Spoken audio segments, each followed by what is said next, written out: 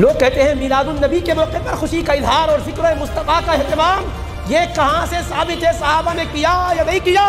अरे, सहाबा तो मुस्तफ़ा के नाक के पानी को हाथों पर लेकर सरों पर, चेहरों पर, जिसमों पर सजा रहे हैं। उनको तो मुस्तफ़ा की ज़ात भी मिली थी और तबर्रुक भी मिला था। हम गुलामों को ज़ाहरी तौर पर ज़ात अकदस की कुर्बत भी नहीं मिली। वो तबर्रुकात भी नहीं मिले।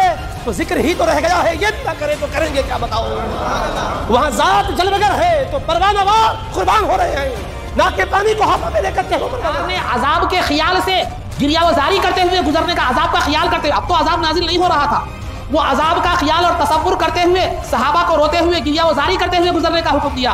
तो हज़ारों साल के बाद अजाब के तस्वुर से गिरियावजारी कायम हो सकती है। तो चौदह सौ साल के बाद सरकार की मीलाद के तस्वुर से खुशी को कायम हो सकती